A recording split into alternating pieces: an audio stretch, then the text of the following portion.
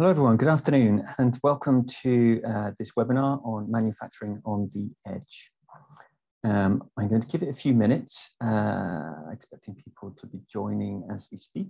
Um, and thank you all for, for joining. Um, this is part of a new series that we're, we're doing within Digital Catapult, uh, which is on knowledge sharing and we're starting on said edge compute in uh, an industrial manufacturing setting.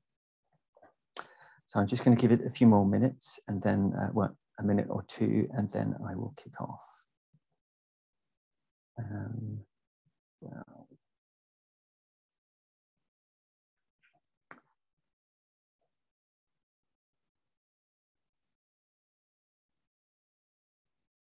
so now I think I'll make a start. Um, I think I'll make a start. So um, so I'm Paul Seeley. I'm the Director of Technology Strategy at Digital Catapult, and it's my great pleasure to introduce um, uh, this webinar to everyone today. Um, as mentioned just uh, when it started, this is part of a new set of, of, um, of events that we're running, uh, and new webinars on knowledge sharing, and we're starting obviously with, uh, with edge compute in the manufacturing setting. Um, and oops, if I just, before we start that. Um, so just to introduce Digital Catapult, so we're the UK authority on advanced digital technology. So we are looking to accelerate the industrial adoption of advanced digital technologies through collaboration and innovation to drive growth for the UK, uh, for the UK overall. And uh, we bring together diverse communities. So we're joining together between um, academic research environments and startups and scale ups and in industry who uh, end adopters. And we do this through challenges and we have a, a technical, a technical um, environment and test beds where we can really demonstrate uh, through our facilities and, and help companies adopt technology.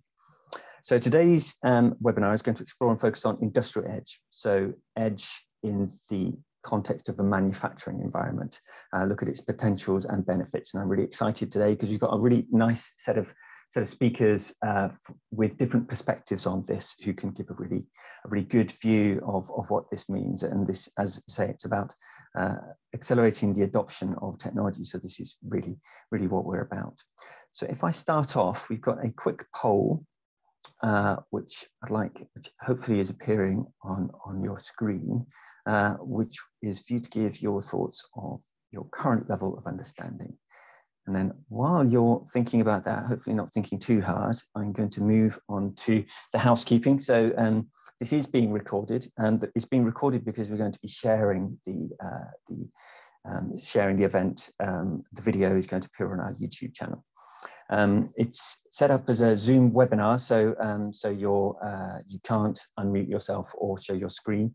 Um, however, there is a chat box and there is a Q&A box as well, and we're using that Q&A box for the panel. So if there are questions relating to the panel, please put it in there. Um, uh, and um, that's it, I think. Uh, but if I can go to the next slide. Now, what are the results? Do I have the results? Um, not sure I've got the results to, to hand. Uh, I'll come back to that in a second then, because I don't have the results up. But um, uh, if I can start my section, that's probably the thing to do here.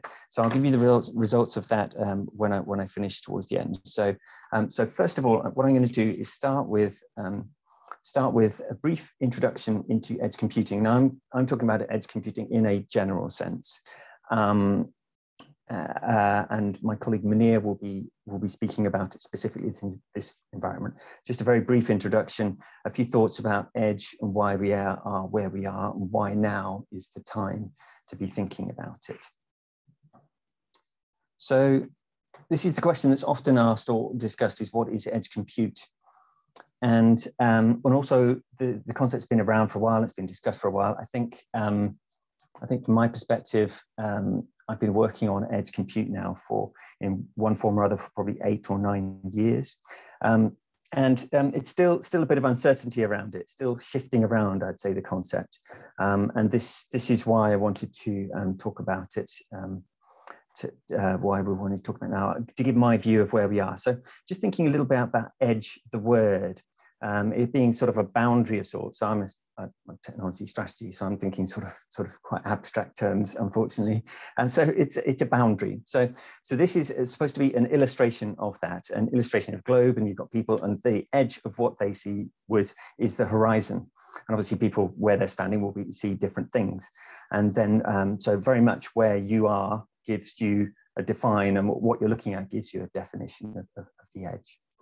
And then if you bring, say, here another person in, then um, they may have a different perspective. And in this case, this person's edge is actually in the middle for someone else.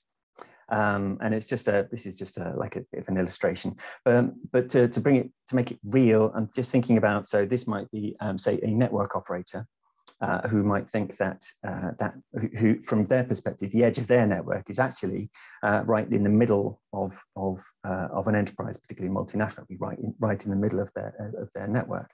Um, and so, so, so this leads to some sort of confusion between them. Or, or for an example, um, if you've got a cloud, uh, a global cloud organization, then they would be, uh, they would create, um, they would create a, uh, uh they, they would think that their edge is say, is say the data center that's nearest to you.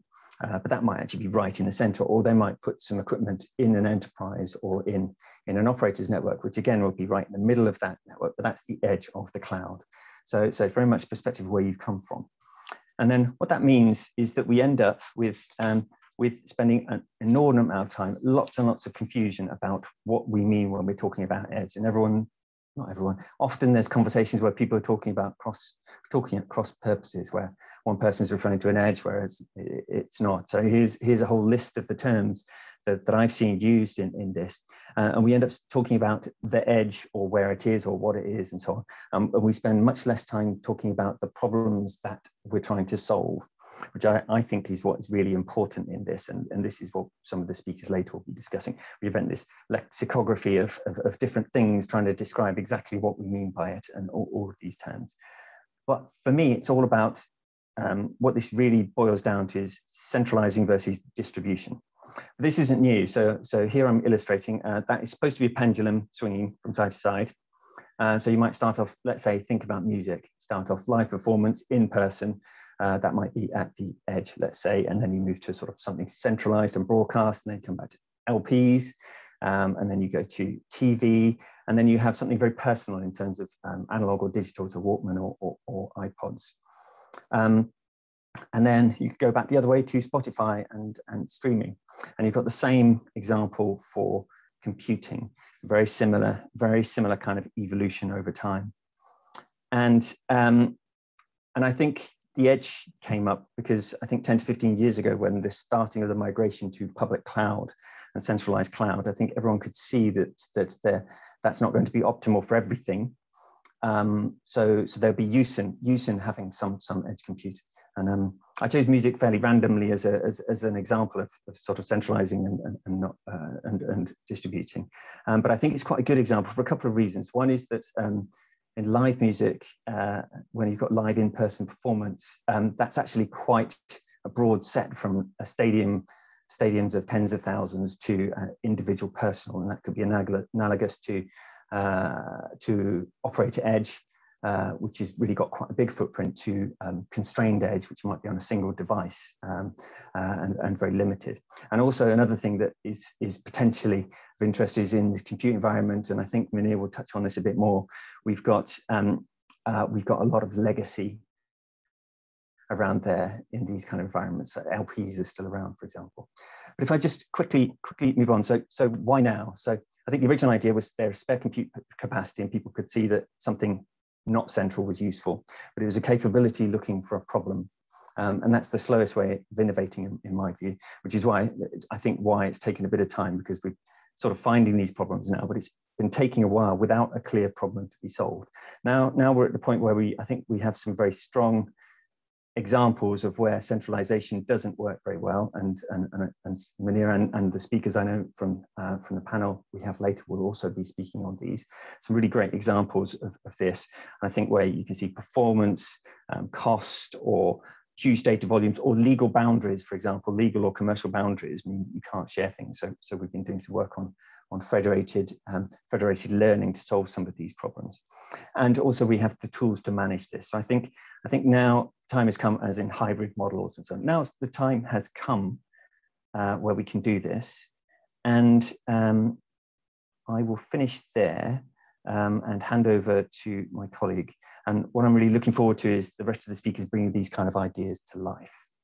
Um, so if I can hand over to Munir Chowdhury, the head of technology IoT, and uh, he uh, will talk about uh, edge in the context of manufacturing. So if I can ask Munir to uh, put your put your camera on and go off mute, and I will do the reverse.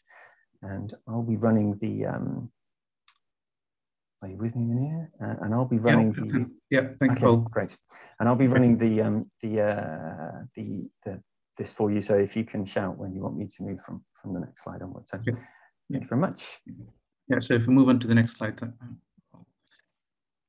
Yeah, so um, I think uh, uh, it's, it's great to see such a diverse uh, um, part, uh, range of uh, participants so, um, within manufacturing and outside of manufacturing. Um, and it's fair to say that over the last 12 to 18 months, we've seen transition in the manufacturing industry uh, for various reason, um, uh, mostly related to the pandemic.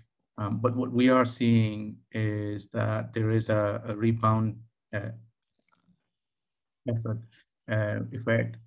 And uh, next, please. Oh, and what, what we're seeing is that um, um, the businesses that are actually um, benefiting most are looking at um, uh, to transform their uh, business in terms of productivity, in terms of efficiency, eliminating waste and errors, uh, in efficiency in production and inventory management, um, preventing defects and improving quality, and so on. Um, next, please. And for the most part, not all, um, the, the, the businesses that are moving the fastest are the ones that have started uh, have either adopted in their uh, uh programs or uh, are, have started the journey to uh, digital innovation, part of the Industry 4.0 umbrella. So um, bringing together technologies such as the Internet of Things, the 5G, artificial intelligence, um, and what what this is doing is it's providing these uh, businesses uh, to build a new competitive advantage. Uh, next, please, pause. Um, and the, the, the effect of implementing digital is that it gives rise to a new set of demands and demands in computing, storage, and analytics. And um, over the years, that has been sort of uh, getting quite um, is being magnified to some extent. Next slide, please. Um, and so the early stages of uh, uh, digital innovation has been uh, focused around um, the paradigm of cloud computing. And over the last 25 years, this has been the dominant philosophy for digital.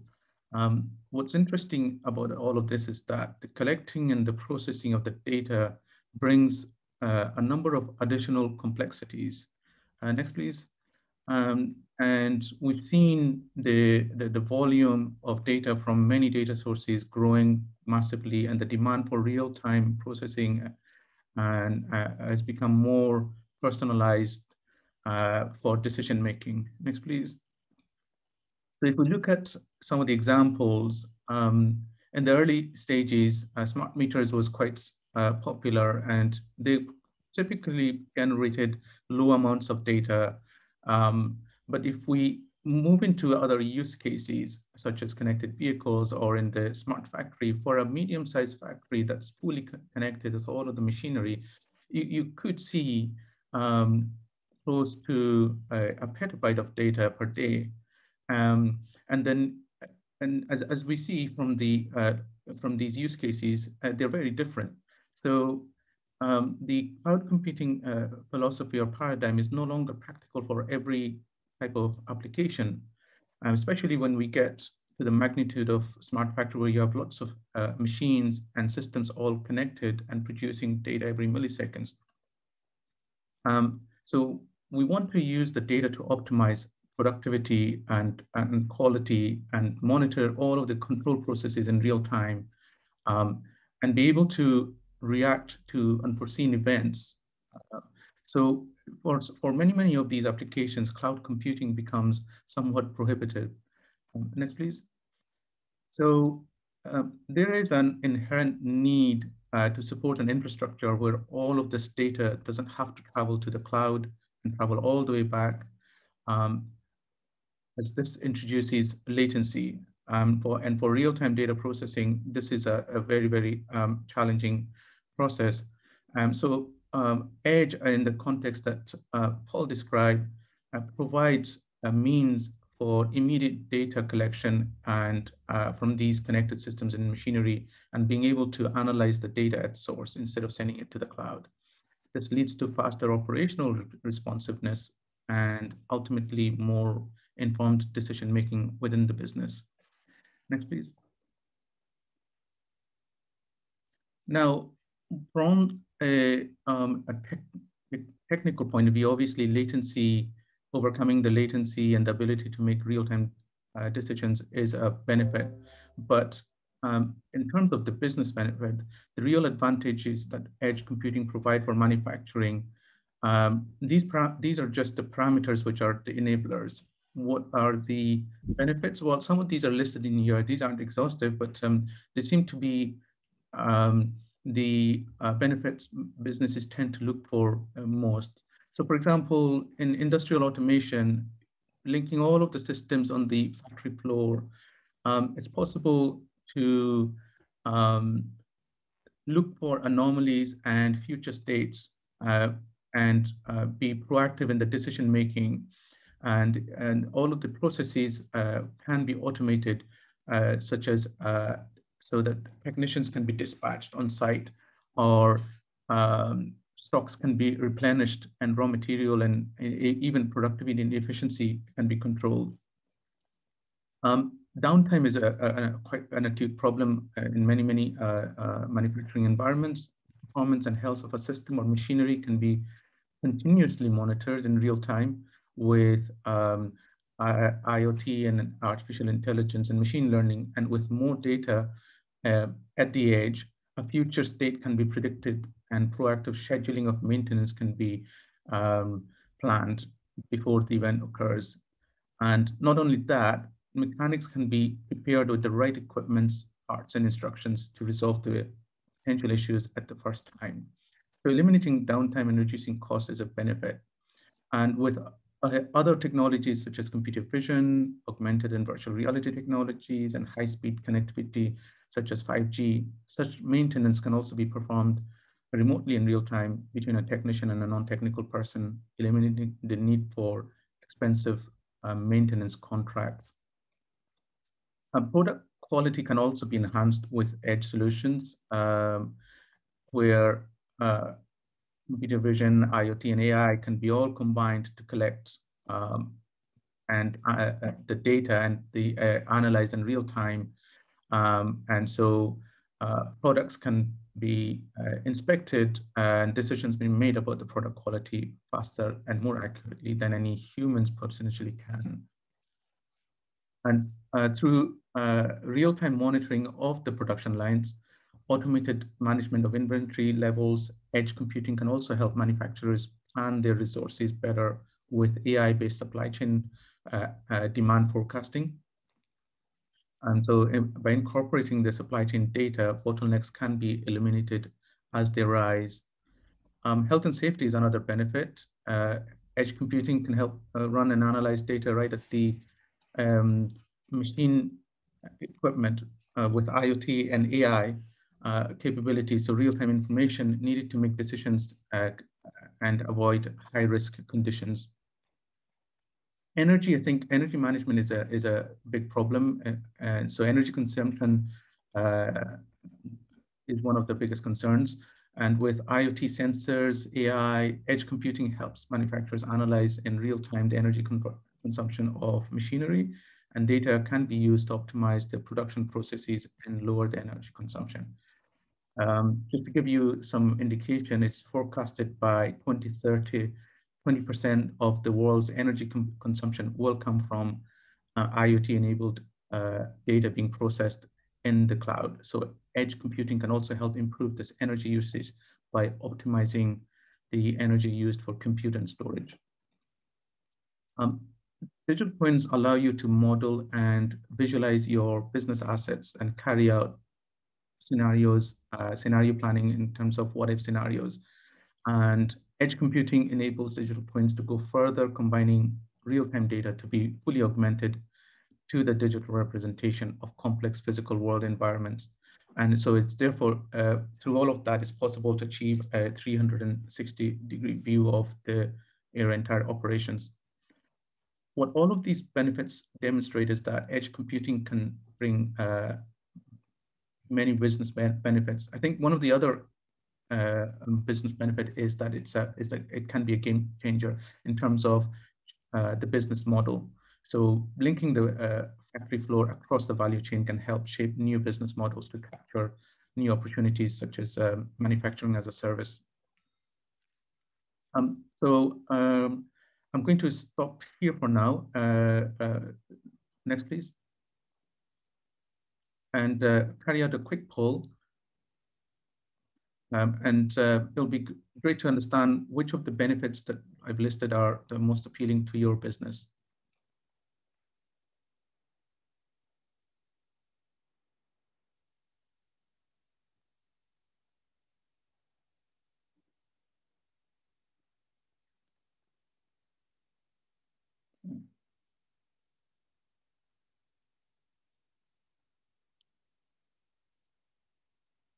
Okay, so um, well, well, the full results are coming through. Uh, there they are.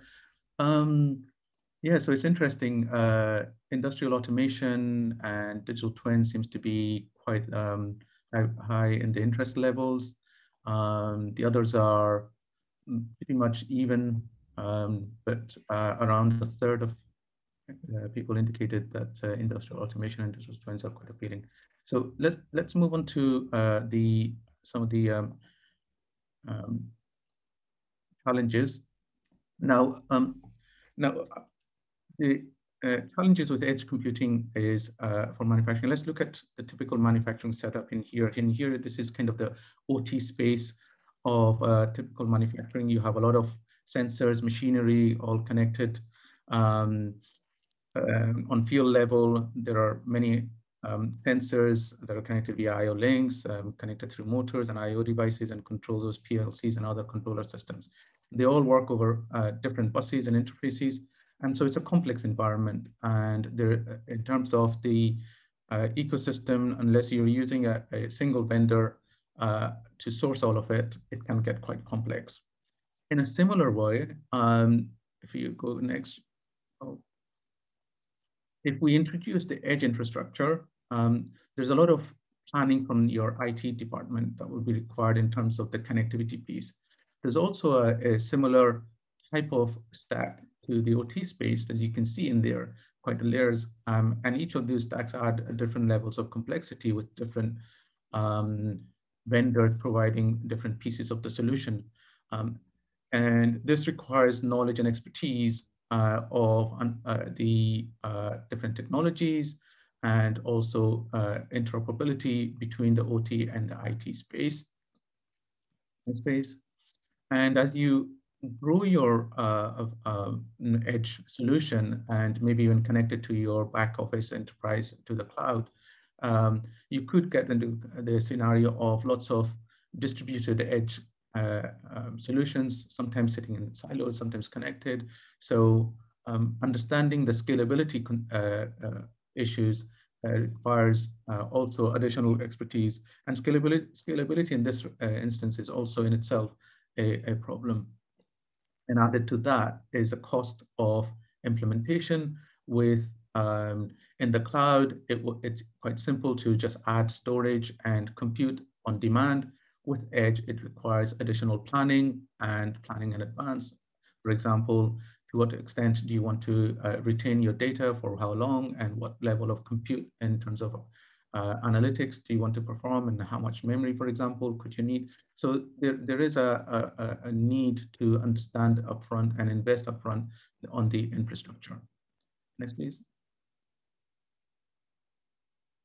So these are uh, these are the high, uh, summary of the um, challenges that I've mentioned. Um, interoperability, the landscape of the edge is, is quite complex sometimes, uh, and uh, the skills and expertise required for the integration and, uh, and to grow your entire infrastructure and architecture and the costs associated with it.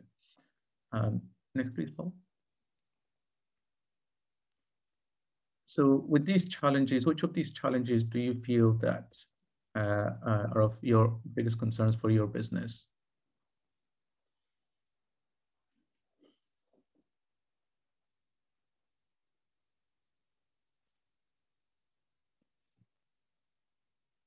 The results are coming through.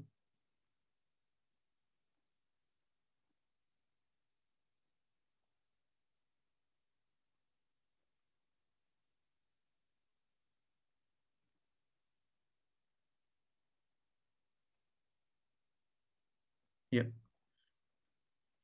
Yeah, it's not surprising that the majority of you have indicated skills and expertise and the uh, followed by the IT-OT interoperability as the main concerns. The, the uh, data over the last five years seem to indicate that these are the most uh, priorities uh, for uh, adoption from an adoption point of view.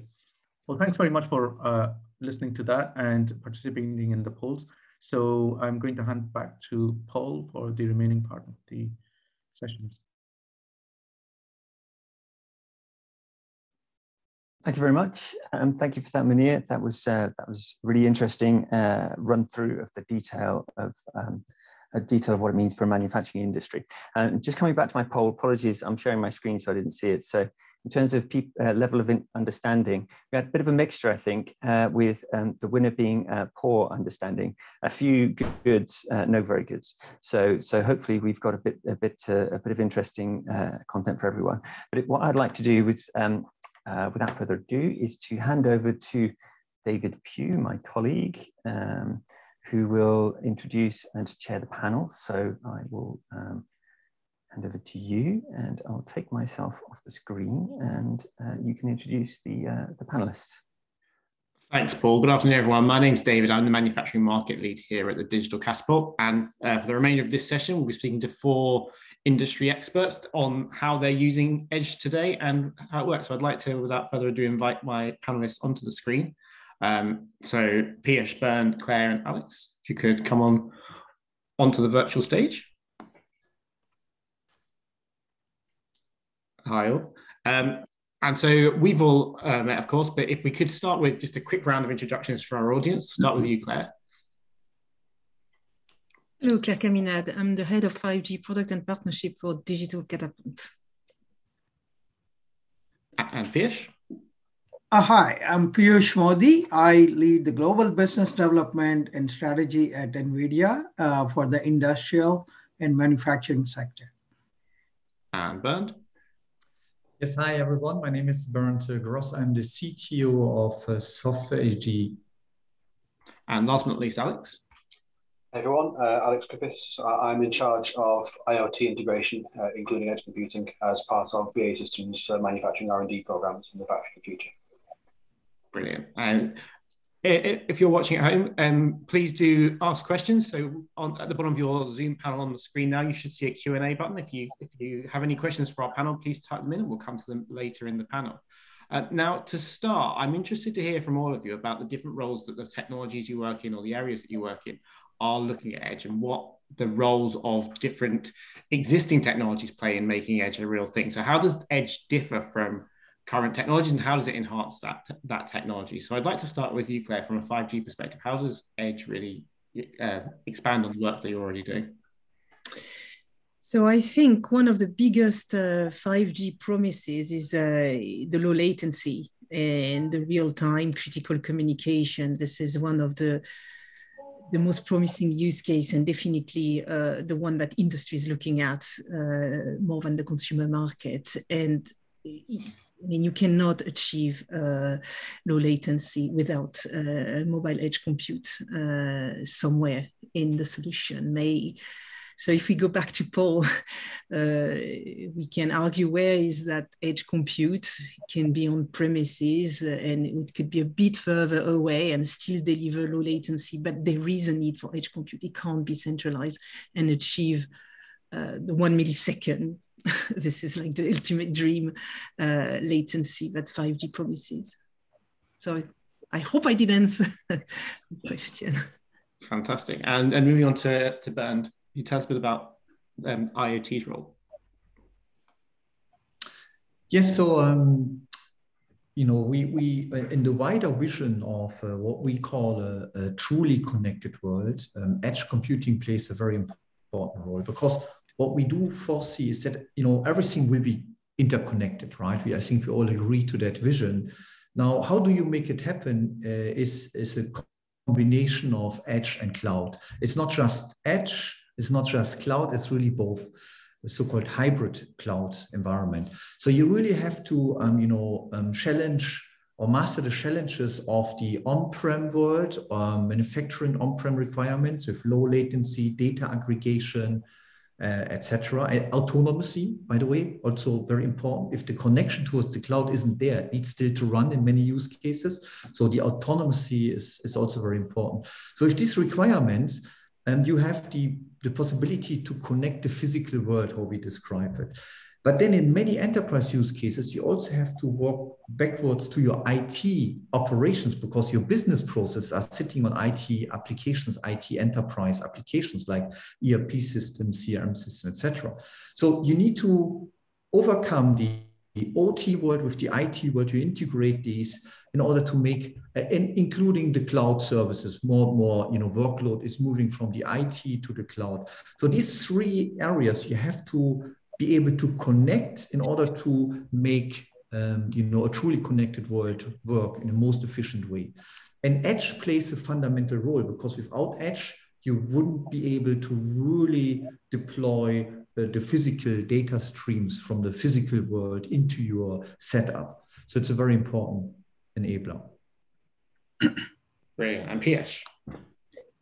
Hi. Uh, so we take the holistic view on this. Uh, if you think about the last 10 years in industrial and manufacturing, uh, there's been tremendous investment made in bringing sensors and connected assets through IoT. It's expected these devices are projected to grow to almost 150 billion by 2025 and even more than trillion by 2035.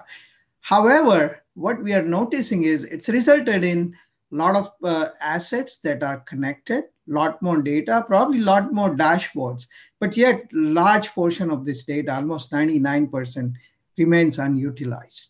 Uh, so we are at this junction where we have some interesting technologies emerging, uh, IoT, married with 5G, which is promising to really solve the problem of how to get the bandwidth 1,000 times more at a 10, 10x less lower latency uh, compared to 4G. Uh, and, and to make this data meaningful, AI led technologies are beginning to kind of shape up and delivering outcomes in a major way. So given that, it seems most economic to leverage the latencies and bandwidth given by 5G. Uh, also uh, addressing the security challenges that comes with manufacturing, uh, which, prevent, which is preventative, as we call it, law of the land, so to speak, where they, it's best to process data where they originate or in the nearest proximity of it, and at the lowest cost to really derive the meaningful outcome that thanks to deep learning now, we are able to address whole data veracity that comes into manufacturing. It could be very high frequency vibration data, time series data. It could be sensor data. It can be video cameras giving you surveillance, or it could be all the mining of the logs, the natural language processing of uh, worker created input in the form of the system of records. How do you mine and converge all of this? The deep learning gives you the algorithms to achieve that. And then detecting anomalies and predicting failures ahead of time, uh, almost estimated that AI uh, processing at the edge is going to unleash economic impact of almost $11 trillion per year. Uh, so we are sitting on an amazing convergence of these three technologies. And at NVIDIA, we're looking at all three and say, how do we provide one converged platform that facilitates the connectivity, uh, that facilitates the processing of this data where it matters, following the uh, rules of data gravity or law of the land, as I said, uh, in terms of protecting security, privacy, yet bringing in the most demand, needed compute and networking where it matters to process them with the most modern AI algorithms. That's brilliant. Thank you. And Alex, from a manufacturing standpoint, how is Edge helping you? How are you looking at use cases for Edge and seeing how it will expand the kind of work you're doing today? This is it. I have to be slightly boring and agree with everyone who's just who's just spoken, um, because it's not a, a, case that everything is suitable for edge processing or, or everything can go in the cloud. So it's a case of matter of where you draw the line. Uh, and, and a lot of times this is a matter of definition. So, like, take the phrase real time, which I think Claire, Claire brought up. If you're looking at real time monitoring, it could well be that if someone's just trying to supervise what's going on in the factory, um, you know, getting getting a report within five seconds, ten seconds, frankly, in some cases within five minutes, would, would be enough to count as, as real time. But if you're trying to do real time adjustment of processes, if you're trying to actually control machines, that would be infeasible. You then need to get down to that kind of handful of millisecond or sub millisecond that, that, that needs the data processing back at the edge. Um, I'm going on a bit, I'm already forgetting what the actual question was. I'm going off on a bit of a tangent. Um, would you mind resetting the question? Sorry. Yeah. So how, are, how are you seeing Edge Edge being used, and how is it enhancing the work you're doing with with um, with the technologies you're currently using? Yeah, absolutely. So we so we are looking at, at real time control of, of, machines. So so uh, adapting to changing circumstances uh, in real time. Part of that to do with with kind of deep learning and machine learning. We also have issues with data volumes. Uh, so where we're trying to monitor processes, we have machines that can generate multiple terabytes of data a day. Uh, and if you then have an entire factory full of those machines, streaming all that up into the cloud somewhere is going to be an absolute nightmare. Uh, so we do use or, or, are looking to use kind of edge resources for machine learning and so on to extract the valuable information, extract the valuable information from the raw data and keep the data local. Um, you know, there are there's also security elements, um, particularly. Uh, I mean, any company will have these concerns, um, I'm sure, but uh, as a defence company in particular, some of the some of the data we're using counts as you know national security uh, kind of rated data. Um, and for a lot of our projects, uh, selling the idea of storing that data in the cloud is um, it's a difficult sell to the IT and cybersecurity departments. Uh, if there is an option to handle that data locally, if there is an option to not have to send it anywhere, that's always going to be the easier path to go. Uh, so it, it really does. It pops up in a number of places. You know how it can lend benefit to manufacturing. Fantastic. And we talk about the conceptual edge use cases. We talked, especially in, in the session today, about what, what edge can do. How close are we really to having these real life um, use cases. Bernd, would you, uh, I'll come to you first. What real world use cases are we seeing now and how close are we to actually getting the benefits of Edge as opposed to it being a, a future technology? No, I, think the, um, it's, it's, it's happening definitely. So we have, uh, for example, uh, quite a few uh, clients. Actually, our Edge uh, product in our portfolio, we have uh, three different Edge solutions. What is Thin Edge is for embedded Linux type of devices with a very small footprint. Then we have up to Thick Edge, which is a server-based, uh, you know, multi uh, core uh, environment, right? So we have a variety of edge technologies, but definitely this is growing um, by over 200, 250% uh, a year. So it's really the fastest growing segment of our IoT uh, uh, portfolio that underlines the, the importance of edge, I believe. And some concrete use cases, it's really like in the energy side, for example, a client of us, Nordex, a wind turbine manufacturer, they have actually the cloud, a cloud environment, cloud platform with the cloud services to operate wind turbines globally. They have a, an, an operator operating center where they have a few dozens of people really monitoring these wind turbines. But then when you really think about um, you know autonomous uh, operations and also more uh, low latency functionality. Um, they have deployed a SCADA-like system on top of our edge technology for the wind farms. So I think that's the kind of the, the, the combination what we see, you know, or wind farms with edge and then the, the global operation operating center based on the cloud. That's what I meant with the hybrid type of um, use cases we see. Another example quickly is, uh, for example, in the automotive industry, one of our clients, Dürr, they're producing painting, uh, painting robots for the automotive industry, global player in that domain. They actually monitor the quality of the paint uh, jobs on the mm-hmm. cars mm -hmm. through the integration of the robots into their edge compute. And we are analyzing here uh, with a high frequency, 100,000 data points a second. Uh, that's quite a massive amount. And the, the quality of the, the paint uh, uh, operations and can identify very fast potential issues, etc. That wouldn't be possible, to be frank, with a cloud-only deployment. So that kind of shows also the importance of Edge.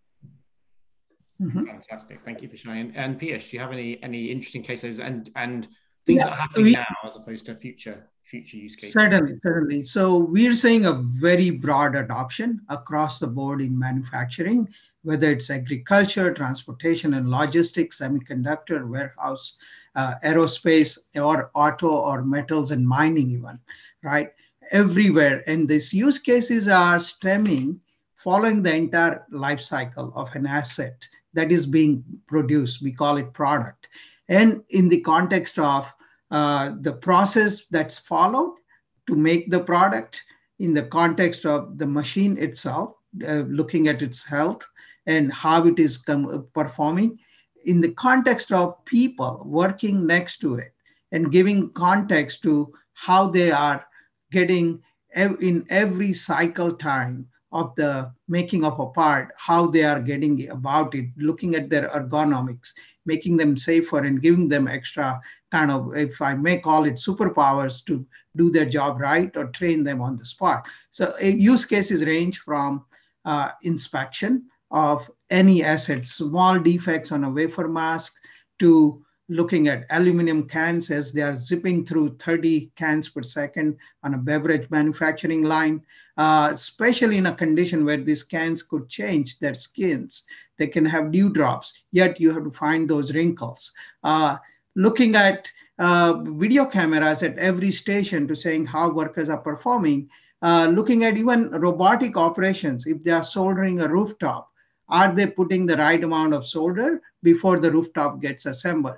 to looking at the health of uh, machine tools. Uh, are they performing to the precision required or are the jobs going haywire by mounting even cameras inside the NC machines or looking at the welding jobs while they are being done. So it's giving us an opportunity which never existed, which is to look at everything as it is getting made accurately, predicting the process deviations, predicting how workers are performing and increasing collaboration. And one use case where all of this come, came together for us is BMW story around uh, where, where this is a factory where they make almost one car every minute.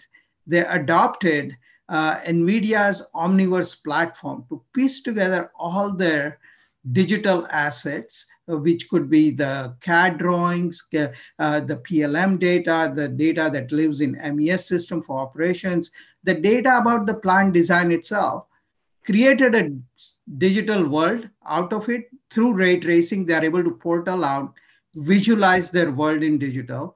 They're able to simulate how the robots move and collaborate with each other, how they move around their timing going from station to station, collaborating with other robots and humans, and really training a process uh, that's optimal for them, and then deploying it in real life, yet enabling all the folks who come into, who bring their tacit domain knowledge together to collaborate in creating this digital twin of our entire factory. So that, that's kind of, these are all the use cases happening now.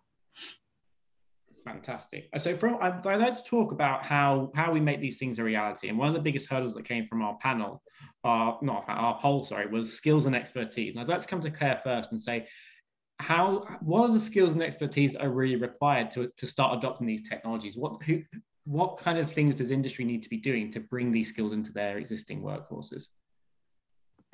Oh my word.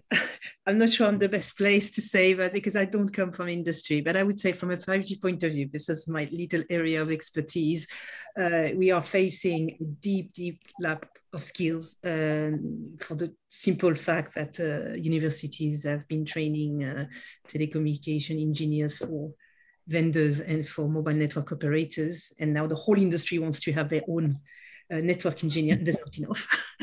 Uh, so the way we approach that in uh, when we uh, at Digital Catapult is we act as a technical design authority, for instance, and we really get to to be that single stop shop where if you have a 5G question, you come to us and how you integrate that. And uh, that I would say that obviously, as Bernd uh, uh, said earlier, or even Munir, is in order to deliver the full uh, solution, you need that full integration in the full stack.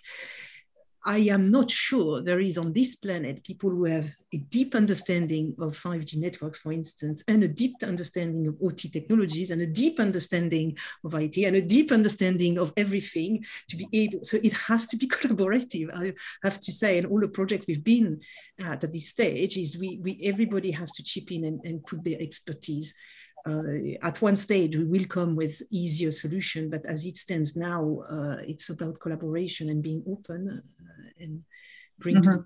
what you know. Absolutely. Yeah. And Alex, BAE Systems have been building up a digital culture for a number of years now and doing a really great job. What kind of skills have you seen from training traditional engineers to, to be able to use these technologies and develop them for industrial use? Oh, that's an interesting question. Um, okay, so I think one of the best advantages we've got from bringing existing engineers into the digital space is more a matter of vision than technical delivery. So uh, edge computing and so on is not a monolith. There's lots of different skills required for different parts of it. Um, you know, how you actually connect devices up is probably within the domain of uh, an IT department uh, what you then do with the data uh, and so on is maybe more data engineering, data science.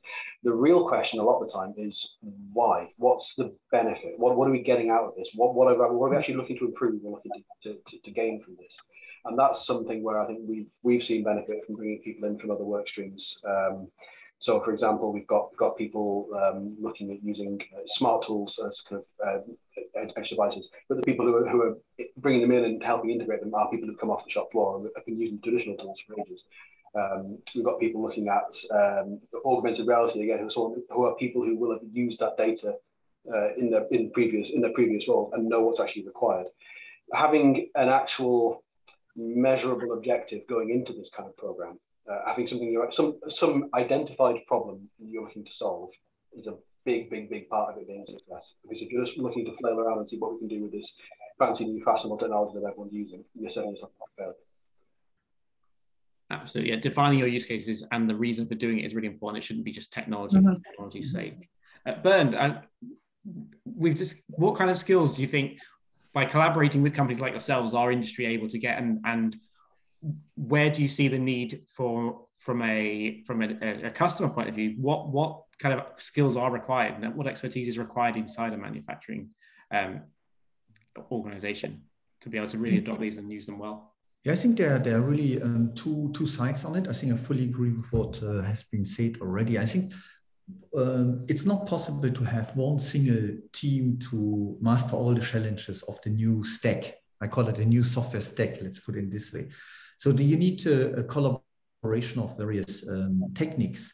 But I think that that's becoming more and more accessible. I do believe that um, you know we have um, you know more and more standards emerging. For example, you know five years ago I haven't seen OPC UA as widely deployed as today. For example, you know today OPC uh, UA is becoming really an industrial standard. And you know five years ago uh, probably I haven't seen so much self-service tooling in the operational technology in the shop floor as I see today. You know, and And self-service, I think it's a great way of overcoming the, the, the issues in terms of uh, competence lack.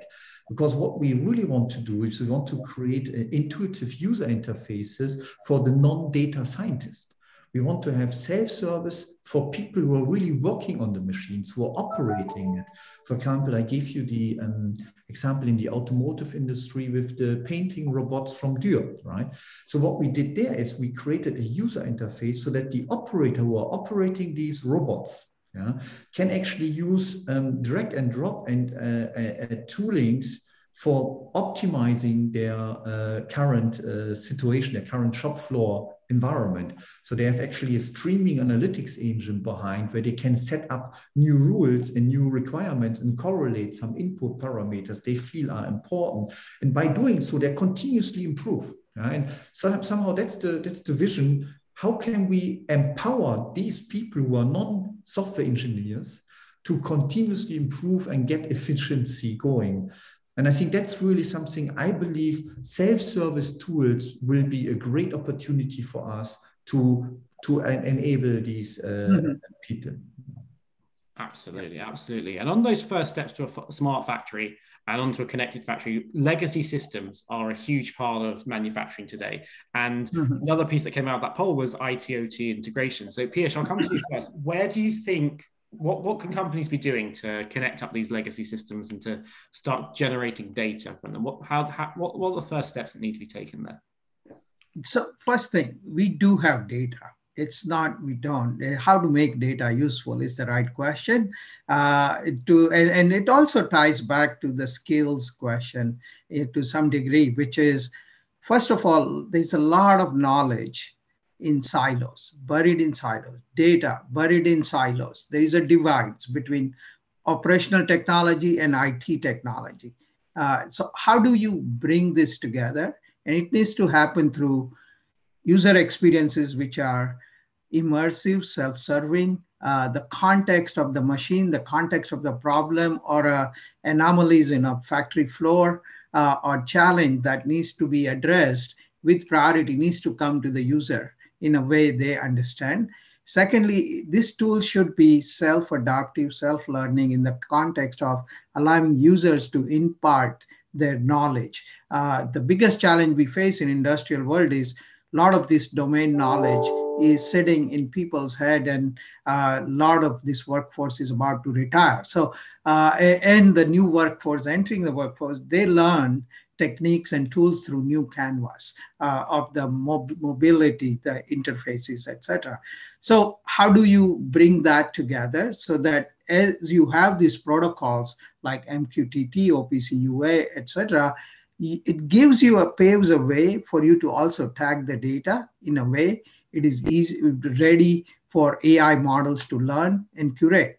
Secondly, as we embark on this digital transformation, it is very essential to set up that empowering that organization to bring in a, the perspective both from the factory side and the data science side together so that how do you invest? That there are far large number of factory workers. There is a very few software application developers. That's also a large number because we've been doing for 20 years. But when it comes to data science ai there's a far fewer workforce. So investing in that skills uh, is necessary for all manufacturers. Uh, so adopting that and, and with this workload comes uh, new workflows, how to capture the data, how to harness them, not just at a factory or a plant level or a line level, but across the, all the factories and estate at a fleet level, how to maintain their state uh, when these models are uh, deployed uh, their life cycle of it, how to secure them uh, is another IT primitive that needs to be focused on. And then training these models using the data uh, and practicing AI so that it delivers the outcome and use cases that matters the most is again requires a custom uh, mindset uh, and explainability is going to be very important in the context of manufacturing. So building AI that is transparent, uh, it's trustworthy is also important. So these are all the areas uh, that needs to be said. And, NVIDIA, what we call is we have this thing called Deep Learning Institute, through which we have curated curriculum, which allows both the business folks and uh, operational teams to understand what is the potential, what are these tools, how to blend them into what they would do today. Uh, we also working very closely with all the machine technology providers to embed AI transparently. Uh, we are adhering to all the standards and bringing, as we talked about, IoT, 5G, and AI into a converged platform. That's fantastic. We've got just about five minutes left on the panel. So I'd like to finish up with a question for everyone is where do we go from here? What's next and how do we get there? I'll start with you, Bernd. Yeah, I think the um, the uh, benefits of uh, the combination of edge and and cloud, so the hybrid uh, environment, is uh, is quite obvious. I think a lot of clients, a lot of um, you know uh, partners, um, customers um, are deploying this. I I do believe that uh, what we what we still have, you you mentioned the legacy situation. We still haven't really found a good answer to overcome uh, brownfield situations. It's very, it's difficult to scale up yeah, in brownfield situations, and every factory looks different on the manufacturing side. So, so also um, equipment uh, using various, you know, protocols. For for example, um, what we needed to do when we started 10 years ago with the Cumulocity IoT uh, product offering, we introduced field protocols one after one after one. Mm-hmm. Today we have over 150 different field protocols as part of our connectivity solution, right? In order to be able to overcome the brownfield challenges. Yeah. And so, and, and therefore I do believe that we do, um, you know, we will see a, a, growth happening, but the, let's say, the exponential growth and adoption of our of these technologies will relate to more standardized interfaces and adoption of standardized next generation uh, equipment. So that is kind of the, I think, the exponential growth curve what we foresee at the moment. Therefore, we work in a lot of uh, standardization uh, initiatives. So that's really what, what I think is the the, the technology is there. Um, you should, uh, I would encourage everyone to try it out. They are open source available also from us, open source software stacks available. Please go ahead, try it out and, uh, you know, and, and start preparing yourself for a, a hybrid future. It's coming, I can promise it to you. Brilliant, thank you. And Claire, Claire, the same question. Where do we go from here? There's also been a question directly on 5G asking how how 5G compares to Wi-Fi and why why 5G compared to Wi-Fi. If you could could integrate that into your answer as well, that would be fantastic. So yeah, I was saying I'm happy to uh, I volunteered for that question. Uh, so there's many there's some difference. So first of all, Wi-Fi isn't meant for um, mobility it's meant for wireless, but it's not meant for asset moving. So definitely the performance will degrade or will become very inconsistent as you move around your router, not mentioning if you need to change router and you, you this is even worse because it's not a roaming technology, whereas uh, mobile technology since the onset the uh, first G, it's meant to absolutely seamlessly go from cell to cell and you don't cut your connectivity. And uh, uh, so that's one thing. So I would say if you have uh, assets that are meant to, to move around, they just forget about Wi-Fi or ex expect something that is not meant for critical communication. Um, the other difference, main, main difference for industrial end users is at the um, uh, predictability of the performance. Wi-Fi doesn't have a QoS that will guarantee a, a set uh, performance.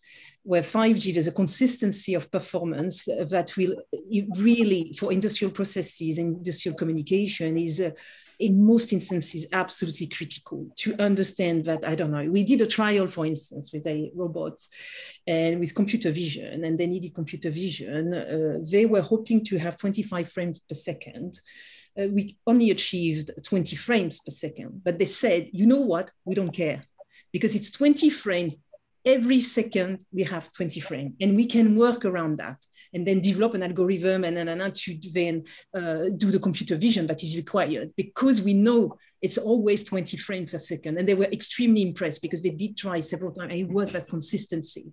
They said, okay, we understand now why uh, it makes a difference.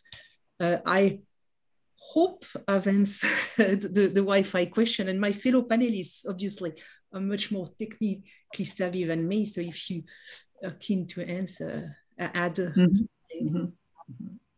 uh, please feel free. Yeah, thank you, Claire. Um, so we're coming to the end of the panel. So Alex, what where where does where does Edge go from here? Where did how how do you see the, the, the next few years changing the way using Edge to change the way you that you your that you work and um, undertake manufacturing operations? So first of all, much, much greater visibility of factory operations, much more real-time uh, understanding of what's happening and what can be done about it if what's happening isn't what you want. Uh, I think uh, as a company, we're going to be looking into, into scaling up and moving out of out. So my, my department is an R&D environment. Um, so we're, we're, we're working up prototypes and, and, and proof of concepts, rolling out into, into real factory environments and, and, and proving it and in anger, I suppose, it, it's going to be a big upcoming thing. Something I'm quite interested in and excited about personally, I think has come up very briefly earlier on in the session, which is federated learning. So I, I mentioned um, that, for example, we have systems churning out huge amounts of data. We don't want to centralize that data. But then if you want to train AI mechanisms on that data, yeah. Can, traditionally you need you need all that data. You need to centralize it all anyway. Um, so if we can have edge devices that are able to share their learning essentially with each other and have that kind of federated learning approach, I think that's a real, really beneficial down the line. I'm, I'm, I'm pleased to see uh, the nodding from NVIDIA. And Piyush, where where do you see Edge Edge going from from here? What what do the next few years look like for Edge Compute, and how are they going to change the way we manufacture things? Yeah, today we are proving at the edge on one use cases at a time, each one of high value, having ROI and making an impact. We have a real opportunity to build the digital twin of factory, plant, the process itself. Uh, and, and, let me double click on it. Uh, the real opportunity here is it's an abstract term. A lot of people use it, but really what is going at the underneath is, uh, as uh, speakers were saying, with 5G, now you can go at a granular level, given a process, you generate variety of data, large veracity of data. They could be high velocity, slow velocity, high resolution, low resolution, First time with 5G, you can actually allocate bandwidth of choice for given a data traffic. So you have the ability to keep this digital twin current in real time for all sorts of data, meaning you have real time context with no latency available in digital world. What this accomplishes is now ability for you to have a realistic view of the factory floor operations holistically across all machines, all plants, all user contexts. And then through digital, best thing you could do is programmatically create different contexts that matters to the outcome you desire. So making a meaningful digital twins that will answer all sorts of logistic questions about what is going wrong or what is working now versus I want to achieve this target how best I should configure, reconfigure my factory and plant. And you're no longer restricted to those strict lanes or robots have to stay in their own zones. All of those shackles are coming out. Uh, so uh, we have a real opportunity here to really achieve this, uh, what we call Industry 4.0, uh, going to 5.0 or 5G, uh, going to 6G with AI, uh, all the things you need. The canvas is ready. Brilliant. Thank you. And on, on that, I'd like to thank Piyush, Bernd, Claire, and Alex. Thank you um, to the panelists. Thank you to the audience for listening and for submitting your questions. And I'll hand back to Paul. Oh, thank you. Thank you, everyone. And um, if the panelists, if you could uh, take yourself off camera, that would be great. And then we'll wrap up this. So I will share my screen. So, um, so thank you everyone, and thank you everyone for contributing to this, and thank you for for for for the audience for listening. I think um, there were some really great examples and some great perspectives on, on, this. I took away the kind of idea everything will be interconnected, and we'll have a hybrid of edge and cloud. Um, uh, and uh, and doing AI. A lot of discussions doing AI across that, um, addressing security, latency, uh, and skills potentially in the way that we, we use that. So I think of it as flexibly doing doing the compute, the analysis in the right place. Um, and um, as say, thank you to everyone for joining. Thank you to the speakers. And uh, we will make this available um, uh, on our YouTube channel. So we'll, uh, we'll let you know when that happens. Um, and if you want to keep in touch, um, please sign up to our newsletter. That should be, I think, in the chat. One of my colleagues will have put the link to that in the chat to sign up to the uh, newsletter. And uh, if you'd like to hear more about what we're doing, um, uh, how we're advancing digital adoption in this space, please, uh, we've got uh, David's email there, so please get in contact. And I think after this, uh, we have a very quick uh, quick survey. It'd be great if you could uh, could respond to, to to so that we can we can look at these kind of knowledge sharing events for the future. Anyway, um, thank you again, and thanks again to all, all, of the speakers for providing their time and their uh, insight. I found it really interesting, and I hope everyone uh, of that variety of different knowledges uh, did the same. So I will wrap up there and finish the webinar. Thank you very much.